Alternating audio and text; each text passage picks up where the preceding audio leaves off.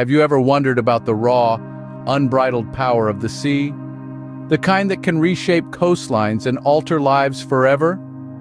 Today, we delve into the world of tsunamis, nature's formidable force that can wreak havoc on coastal communities.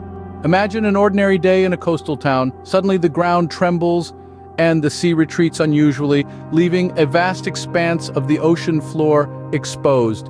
These are the first signs of an impending tsunami triggered by an underwater earthquake or a volcanic eruption. The ocean floor's upheaval sets off powerful waves that race across the ocean at incredible speeds. As these waves approach the coastline, their energy surges, transforming into towering walls of water. They crash onto the land with a force that can obliterate everything in their path, reducing robust structures to rubble within moments.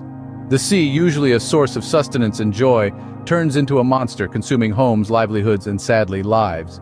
But the destructive power of a tsunami goes beyond the immediate devastation.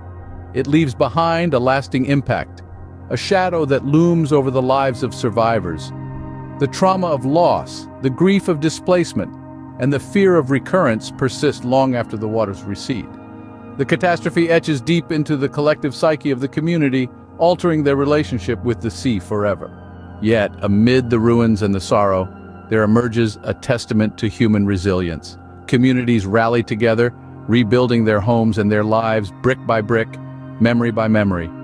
The process is slow and painful, but the human spirit is tenacious. It refuses to bow down to the fury of nature. In summary, tsunamis are formidable natural disasters that can reshape coastlines and alter lives. They are triggered by underwater disturbances and their swift, destructive force leaves lasting physical and emotional scars on coastal communities. Despite the trauma, these communities demonstrate incredible resilience, rebuilding and recovering in the face of adversity. The story of tsunamis is therefore not just a tale of nature's wrath, but also a testament to the enduring spirit of humanity.